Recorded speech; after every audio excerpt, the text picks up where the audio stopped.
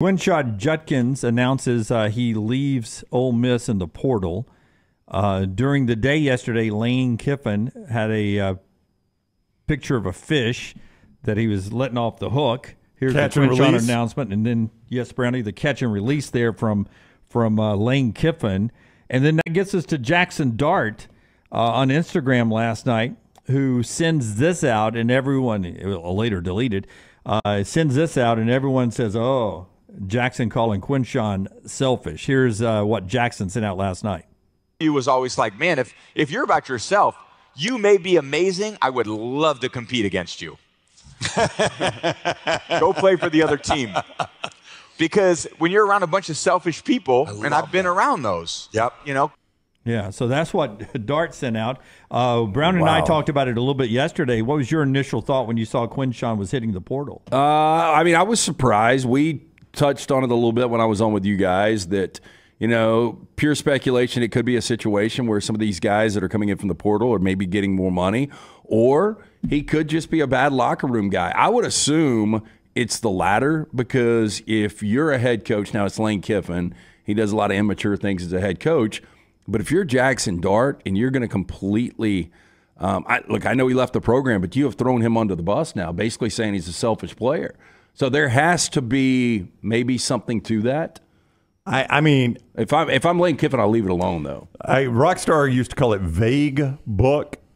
Is that what you called it, Rockstar? Vague booking. Vague booking. So the definition of vague booking is like I post on there, need prayers immediately, you know, and you're like super vague about it. And everybody's like, so are you dying? Is somebody around you I dying? can't Are you hungry? did this. You know who you are. Yeah, yeah, that's vague booking, right? Um, and it's dangerous to make assumptions based on vague booking, and that was a little vague, right? There was no description with it. He just shared that that video. Uh, that was the, yep, that was the whole post right there, just a video, no words or anything. But I would say that I think is a fairly old video. I don't think that was. Oh, like, it's been around. I mean, Yeah. just tell whether Brady looks. Yeah, I know. I don't. I don't think Tom Brady said that yesterday. And Jaxson Dart's like, "Hey, you know, Tom Brady's right. I'm, I'm going to share this with my teammates." So it seems like you had to dig to find that one. So even though there is some vague to it, you can start piecing it together and think, "Boy, the timing on that is very, very odd." Yeah. Um, I don't know, man. I, I kind of thought yesterday this looked like Ole Miss has brought a lot of guys in out of the portal, and I want to see kind of where I stand in the pecking order here. And I've gone and I've told them where I think I stand, and they're like, "We don't think you stand there." So, all right, let's envision life without me here then, and see, you know, see where I stand in the NIL world when you have to envision life without me here. But it looks like it's going much further than that. Now. To- to our me, buddy, it's- our buddy Neal McCready was reporting yesterday in his show um, that that he had become a little bit of a of a, a tough handle for the coaches.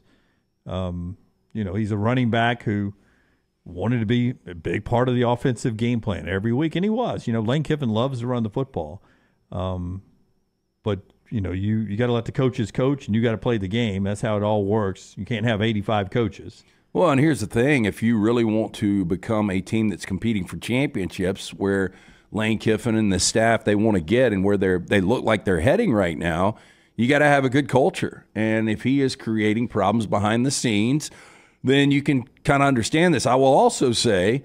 Um, the running back position has become a lot more expendable. Did anybody know who Ollie Gordon was before this season? Nope. Nope. Or Cody Schrader from Missouri? Or Kyren Williams right now for the Rams? Well, that's that's what Alex Scarborough he, he had a quote yesterday in his story about Judkins from Lane Kiffin back in the summer, and it was about NIL, and he was like, "I wonder how long it will take college and the NIL to catch up to what the NFL perceives the market to be for running backs," and he says it's more valuable to us because we run the ball more than a lot of people do in college, but he was basically saying the same thing that you're saying that the running back market in the NFL translates down to the running back market uh, NIL wise in college football. A little bit more valuable in college football, the great running back, but that it shouldn't be as valuable as a great receiver or a great quarterback. Yeah, I think you can still look. Nobody knew who Ollie Gordon was. Uh, Isaiah Pacheco, you know, everybody thought Clyde Edwards Helaire was going to be the future for Kansas City. Pacheco, a guy from Rutgers, you know, ends up being the guy. So I, I you know, I don't know. It's just seems like that is a very expendable position now. I want to go back to something you said. I don't know if you were speculating or if Neal reported this that the usage might have been like I want to be a bigger part of the game plan. Um, what do you think the difference in carries between his freshman year and his sophomore year was? Uh, I would put them almost exactly the same. Yeah, I would say probably 25 less carries. I mean, he had basically the same amount of touchdowns, 16 and 15. The, Yep. the rushing yards were down a little bit, but he was still second in the conference. I would say, in fact, he probably had a few more carries this year because he sort of eased into that star role last year. Well, I was think he it- missed a little time. I think it was like 25 less. It was carries. actually more last year, but only by three 274 to 271. So uh, I don't think usage well, could have been much of an issue. I mean, you got the basic identical usage you had. Now, if you wanted more, like Lance said, though, he wasn't always available this year. That's right. And And I didn't think he had as good a year. I know the numbers ended up being the same. pretty close. They just didn't seem to be as impactful. I kind of agree with you. Yeah. Yeah. it seemed like he was a seemed like his to your point impactful. His numbers meant more last year. I, I just I don't know how many coaches he's going to find that have a more dedicated run game than than Lane Kiffin. And I mean, if if it is about usage, I don't know who's going to use you more than Lane Kiffin. Hugh, Hugh runs the ball a lot. Not I- as much as Lane Kiffin. Not as much as Lane. Hugh Freeze runs the ball a lot. I, I I would like to know what the most carries a Hugh Freeze running backs ever had in a season. I don't know the answer to that. But I'd like to know what it is. I guarantee. I bet you it's not more than what. Well, I mean, first of all, Lane Well, Kiffin. just pick out his best year at Ole Miss. all right, what, what year do you think that was? Fifteen. 14 or 15, right? Or 15 to 16, whatever the, the next to last year was. Yeah, I would say it was 14. Uh, and okay, you want me to go 14 then? In 2014, Ole Miss's leading rusher was I can't even find it. This should answer your question right here. Um, I think. Oh my gosh, they don't have. Oh, here it is. Jaylen Walton had 106 carries. Yeah. So do, was that 14? That was 14. Do 15. Um, But you're right. Now that I think about those two Ole Miss teams, he couldn't run the ball consistently. Yeah, they had, Yeah. that was their problem. They couldn't. Yeah, especially short The yardage. short yardage they were using Nkemdiche. That's Yeah. how bad they were running the football. And remember, it was a short yardage situation that cost them that game against Arkansas. Eventually gave Arkansas the ball back and that great play. in 15, Jaylen Walton led them with uh, 142 carries. I mean, it's not even close. and what did Quinshon have this year? Two- Uh, 271. Yeah. So it's a few more games.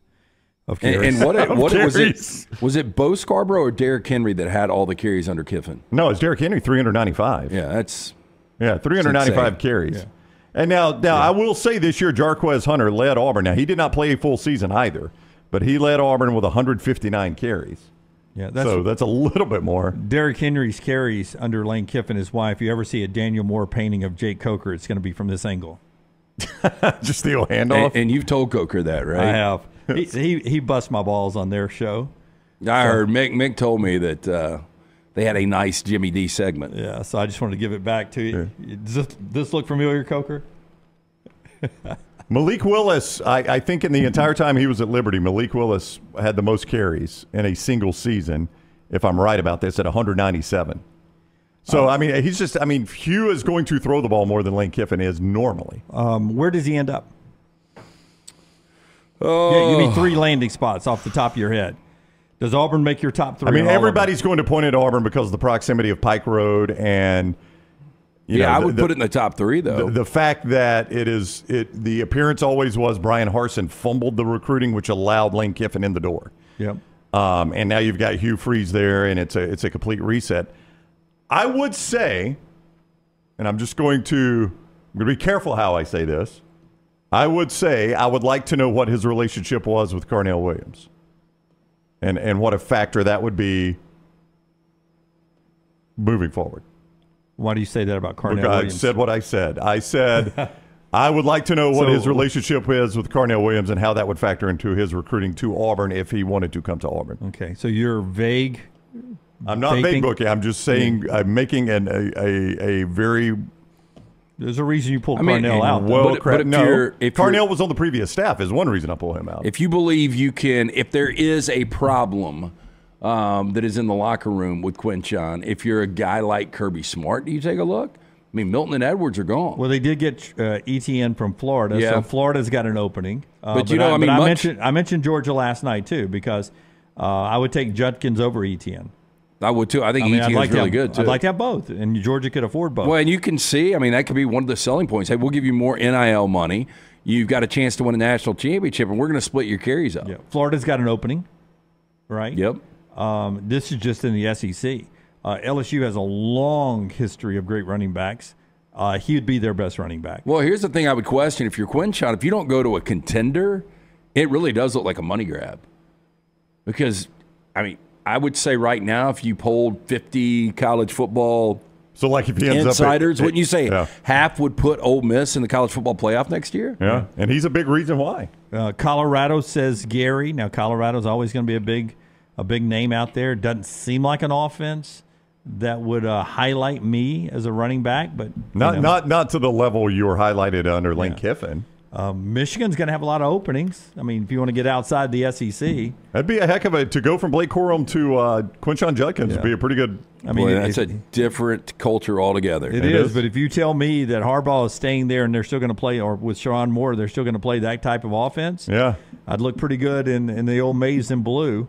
Uh, if you want to be an Alabama boy leaving the SEC and going to the Big Ten, You cannot argue their dedication to running the football. right. They played one game in the conference this year where they ran every play of the second half. and Ohio State runs the ball pretty good. Yeah. TreVeyon's back, though. yeah, that's what I was gonna say. I don't. He would split time at best with TreVeyon Henderson, right? Uh, we'll see where Quinshon, maybe as early as today, we'll find out that destination because I Yeah, agree with yeah, what I Lance mean- says. Uh, you, you don't make this move when you make it without having a, a place already slotted for you. Not like it's free agency, right? Right.